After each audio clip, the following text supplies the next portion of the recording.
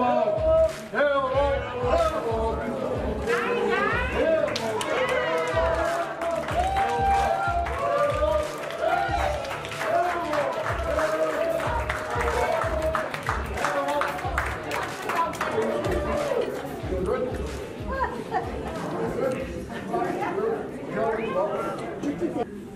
we're here to do a little knighting for you.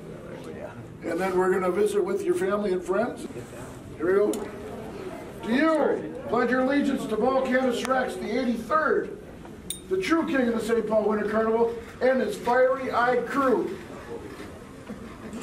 Hello! Then with this mighty sword of Mars, forged in tradition from all fire kings before me, I have the pleasure of knighting you as King of Vulcan Traditions.